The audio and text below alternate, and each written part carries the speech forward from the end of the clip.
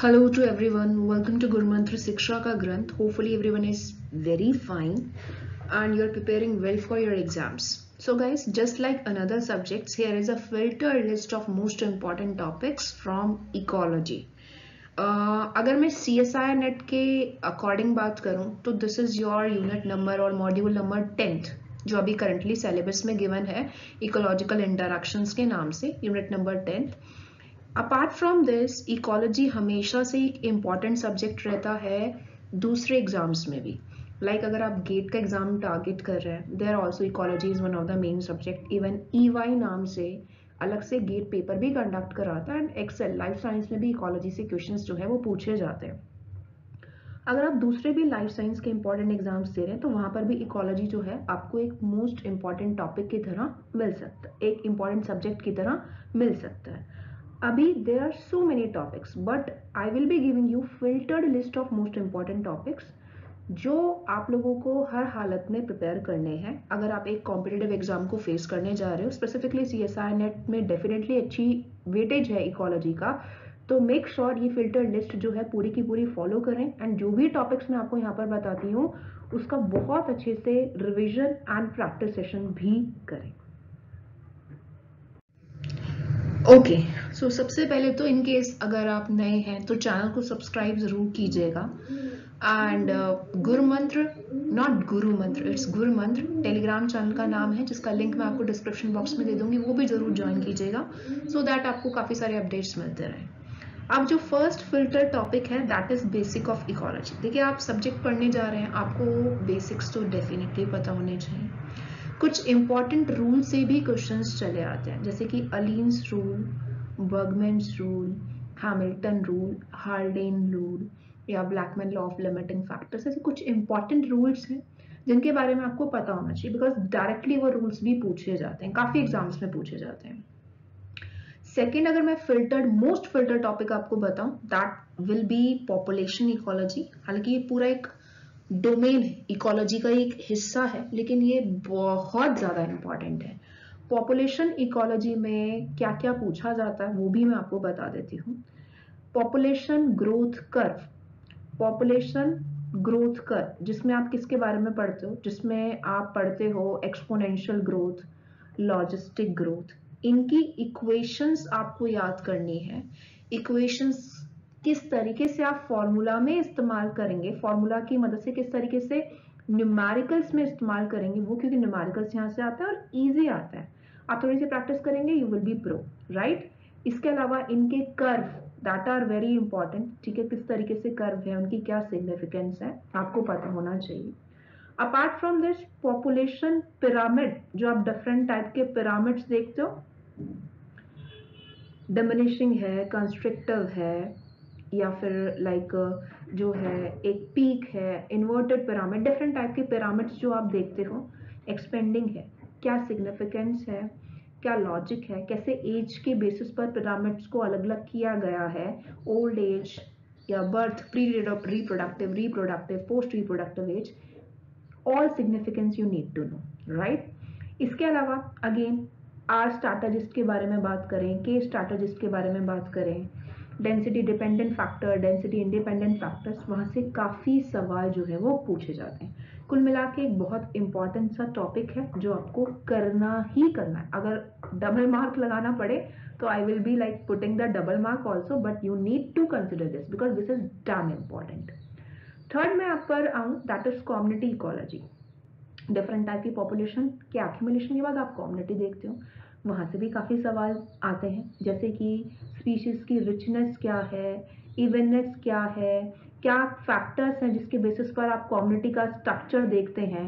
इसके अलावा न्यूमेरिकल्स की बात करूँ तो सिम्सन डाइवर्सिटी इंडेक्स हो गया। आपका शैनन डाइवर्सिटी इंडेक्स हो गया। इनके न्यूमेरिकल्स हो गए, इनके क्वेश्चंस हो गए। ये भी आपको करने ठीक है? बिकॉज़ बहुत इजी है। थोड़ा सा इनपुट दोगे, बहुत ब्यूटीफुल रिज़ल्ट आएगा। अच्छा यहाँ पर मैं एक चीज़ और बोलना भूल गई। नेट रिप्रोडक्टिव रेट वहाँ से भी काफ़ी सारे क्वेश्चन आते हैं तो ये भी आपको जो है करना है।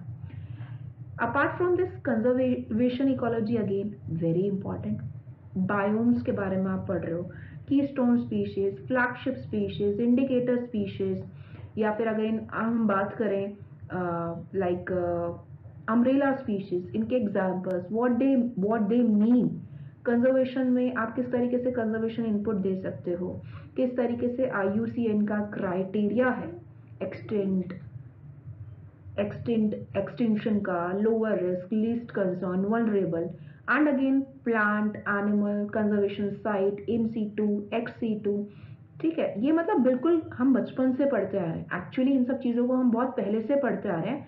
बट इसके लिए क्या है ना, आपको करंट अपडेट भी रखना होगा। करंट मतलब कि अभी मोस्ट इंपॉर्टेंट प्लांट्स का या एनिमल्स का क्या कंजर्वेशन स्टेटस चल रहा है? बिकॉज़ वो टाइम टू टाइम चेंज होता है। एंड कुछ भी उठाकर पूछ लिया जाता है। अगर आप पी वाई यूज़ करते हो तो वहाँ से आपको बहुत अच्छी नॉलेज मिलती है इस पूरे टॉपिक की। But from your side also थोड़ा सा इनपुट जो है, आप यहाँ पर डालें। आगे मूव करते हैं। तो behaviour ecology behaviour ecology is very important ये साथ साथ आपको यूनिट 11 में भी मदद करेगा। डिफरेंट टाइप ऑफ़ बिहेवियर आप देखते हो, ठीक है? जैसे कि अगेन मैं बात करूँ एल्ट्रिज्म पर काफ़ी क्वेश्चन आते हैं। हैमिल्टन रूल पर हमेशा आपको क्वेश्चंस मिलते हैं। मेटिंग बिहेवियर पर आपको क्वेश्चंस मिलते हैं।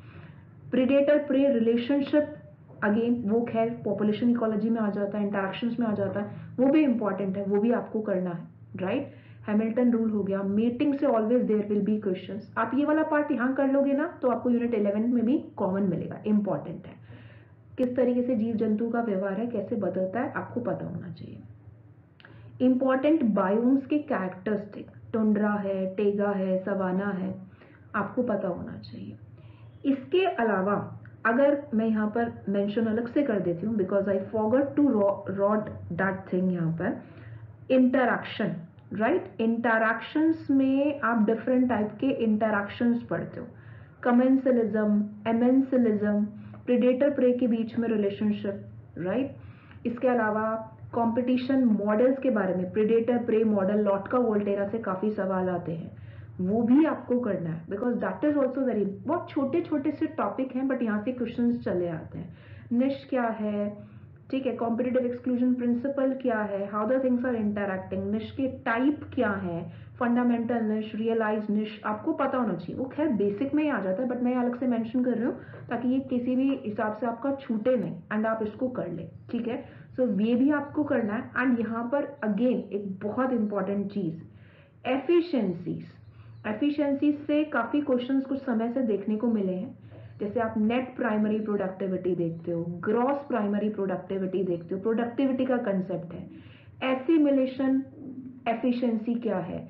डाइजेशन एफिशिएंसी क्या है? जितने भी टाइप की एफिशिएंसीज हैं प्रोडक्टिविटी का केस है, ये आपको पता होना चाहिए। Specifically assimilation absorption digestion production ये सब हम कंपेयर भी करते हैं। कंपेयर कैसे करते हैं? कंपेयर हम लोग करते हैं किसमें?